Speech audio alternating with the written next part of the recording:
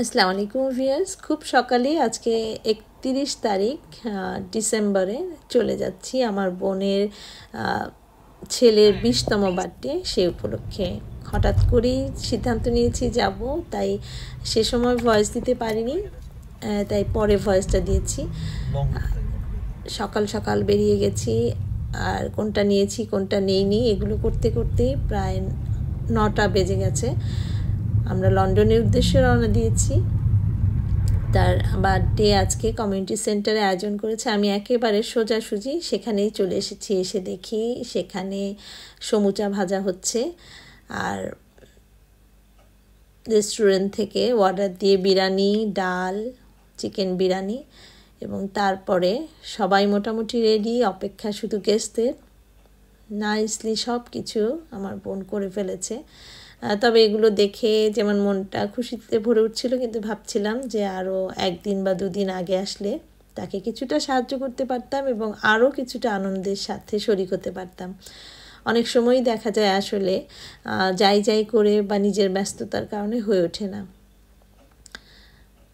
এখানে বাচ্চাদের জন্য সব কিছু সবাই যেন নিয়ে খেতে পারে। অনেক নাইসলি ডেকোরেট করে সেগুলো করেছে ডিজাইন করে করে আমি তো দেখে খুবই অবাক হয়েছি। এখানে গিফট হ্যাম্পার রেখেছে।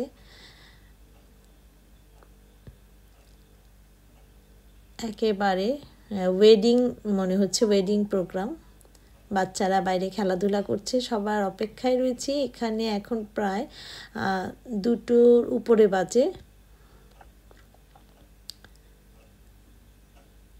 অনেক সুন্দর করে সাজিয়েছে সত্যি। এবং অনেক এফোর্ট দিতে হয়েছে এগুলো করার জন্য। আমাদের এখানে যেহেতু মানুষের খুব স্বল্পতা থাকে, তারপরেও তার ফ্রেন্ড এবং রিলেটিভস থাকার কারণে কিছুটা হেল্প হয়েছে। কালকে রাত্রে আরও আগে থেকে সব কিছু মশাল্লা কেকটা অসম্ভব মজার ছিল। খুবই টেস্টি দেখতেও অ্যামেজিং বাচ্চাদের জন্য সব কিছু যেন তারা এনজয় করতে পারে। আর যেহেতু তার বিশতম জন্মদিন, তাই তার মার ইচ্ছে যে একটু এমনভাবে করি যেন আমার ছেলেটার ভালো লাগে। সে নতুন গাড়িও কিনেছে। জন্মদিনের কিছুদিন আগে। মনে হচ্ছে যেন দামান বেরিয়ে আসছে। সে উপলক্ষেই সমস্ত কিছু করা। আসলে ইয়াং ছেলে মেয়ে তারা খুব এনজয় করতে পছন্দ করে আমিও যদিও এ ধরনের কখনো এনজয়মেন্ট করি না।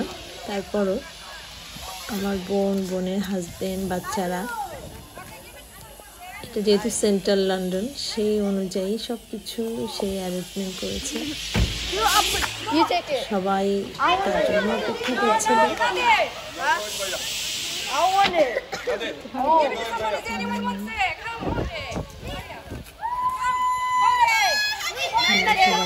যাচ্ছি।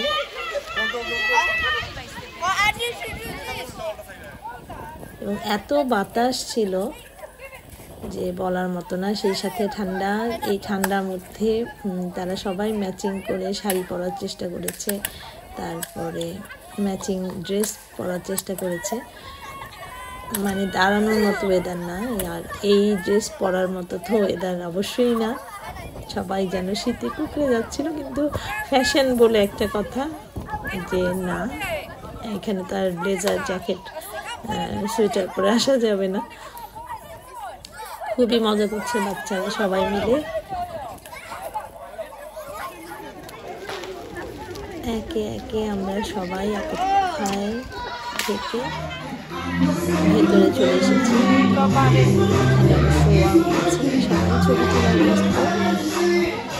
আমি সেখানে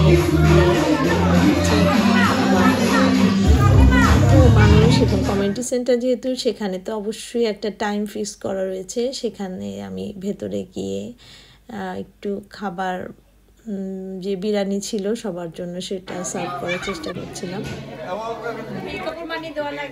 তারপরে সেটা অবশ্য মিস হয়ে গেছে যে কীভাবে খাবারটা দিয়েছিলাম।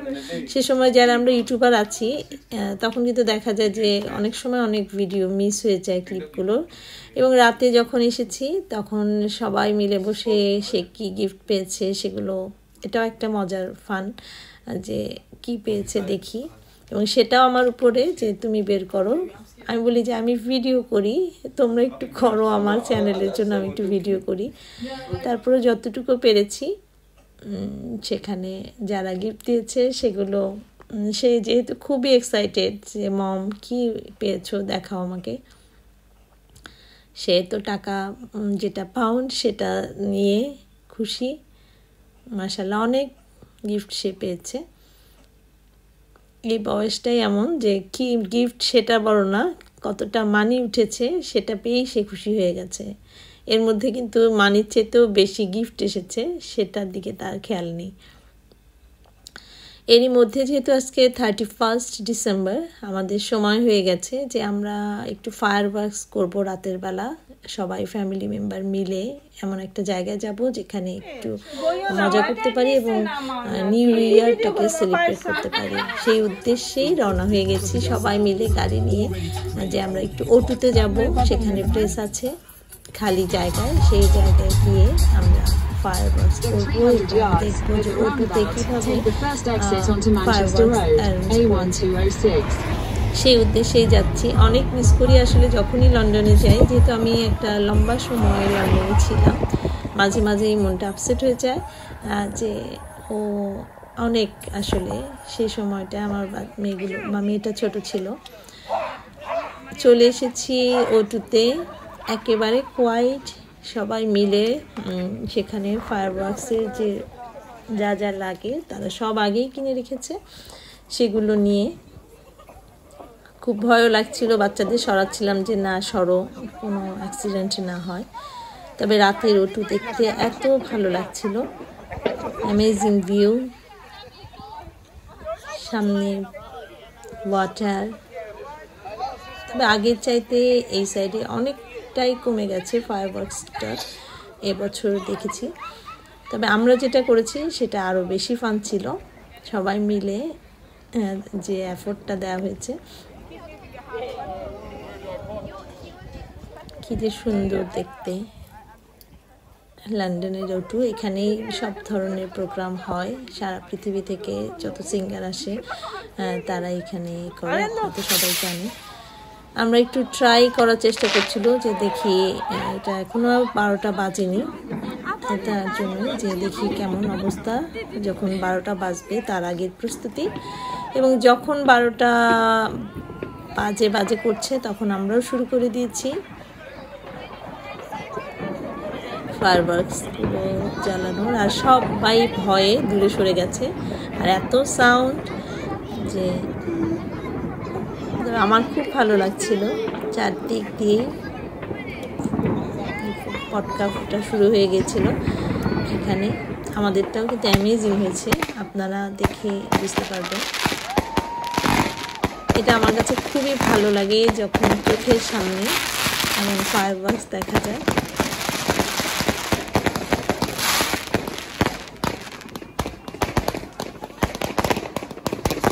চারদিক দিয়ে শুরু হয়ে গেছে, যেই না বারোটা বেজেছে সঙ্গে সঙ্গে। জায়গাটা আমরা সবাই সরে গেছি। মনে হচ্ছিল যে না গায়ের উপরে এসে পড়বে। খুবই ভালো লাগছিল। এত উপরে এত কালারফুল আপনারা দেখতে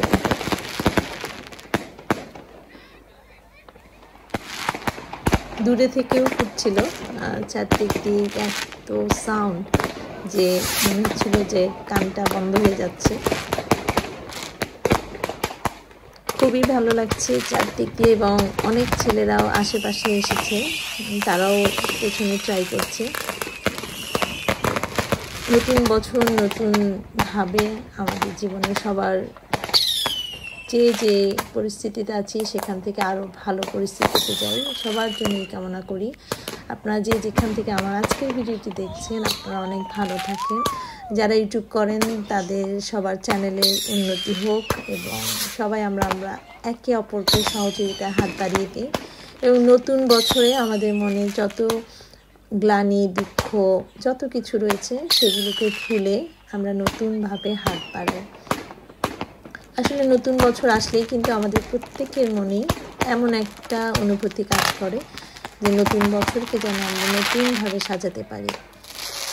সেই প্রত্যাশা নিয়ে কিন্তু আমরা প্রতিটা বছর শুরু করি। কালকেই আমি চলে যাওয়ার প্ল্যান রয়েছে, দেখা যায় কিন্তু আসলে আমার আশা হয়নি। আমি আরও একদিন স্টে করেছি। যদিও আমার মেয়ের এক্সাম তারপরে গিয়েছিলাম। আর যাওয়ার পর আসলে এমন হয় যে আসতে মন চায় না। যাওয়ার আগে যেতে ইচ্ছে করে না, যে না, নিজের ব্যস্ততা। কিন্তু যখন চলে যাই কোনো জায়গায়, তখন মনে হয় যে আরও দুটো দিন থাকি। আমার ক্ষেত্রেও তাই হয়েছিল। একদিনের প্ল্যান করে এসেছিলাম, কিন্তু আসলে আমি আর দুদিন থেকেছিলাম। এটা পাশে যে ফ্ল্যাট রয়েছে, তারা এটা অ্যারেঞ্জ করছে। সেটাও খুব অ্যামেজিং ছিল, খুবই ভালো লাগছিল চারদিকে যেন আলোর ঝলকানি। সব মিলিয়ে নতুন বছরটাকে অনেক আনন্দে উদযাপন করলাম এবং আমার মনে হয় আমি এভাবে করিনি আমার দেশে বা এখানে। সবসময় ভেবেছি না, রাতের বেলা যাওয়াটা সেফ না, রাতের বেলা যাওয়া সেফ না। আসলে বাচ্চারা যখন একটু বড় হয়েছে, আমার বোনের ছেলেটাই কিন্তু এই আয়োজনটা করেছে যে, না, আন্টি, চলো, তোমার ভালো লাগবে।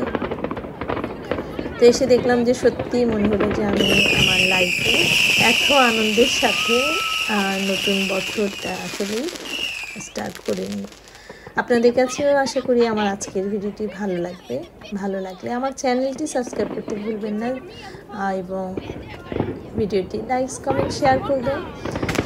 এখানে শেষ হতে না হতে দেখা যাচ্ছে আবার দূরে বিভিন্নভাবেই এটা ওটু থেকে করা হচ্ছে ওটুর সাইডে আলোর ঝলকানি এবং চলে যাব বাসার উদ্দেশ্যে সবাই। কিছুক্ষণের মধ্যেই আবার ঠান্ডা হয়ে গেল। ঠান্ডা আর আসার সময় সবাই হালকা কাপড়ে চলে এসেছিল। সে কারণেই প্রচণ্ড বাতাস যেহেতু খালি জায়গা পানির পাশে, এবং যাওয়ার প্রস্তুতি সব কিছু নিয়ে। রাতের লন্ডন তো আরও সুন্দর, আর সেটা যদি হয় হ্যাপি নিউ ইয়ার উপলক্ষে লাইটিং দেখা তাই তার কথাই নেই। মার্শাল্লাহ অনেক এনজয় করেছি, আপনাদের সাথে শেয়ার করেছি। এবং কালকে যে থেকেছিলাম, সেটাও আপনাদের সাথে শেয়ার করব যে কীভাবে আমার দিনটা হোয়াইট চ্যাপেল তারপর বিভিন্ন জায়গায় ঘুরে কীভাবে চলে গেল, বুঝতেই পারলাম না। আবার সবাই মিলে বাসায় যাওয়ার পথে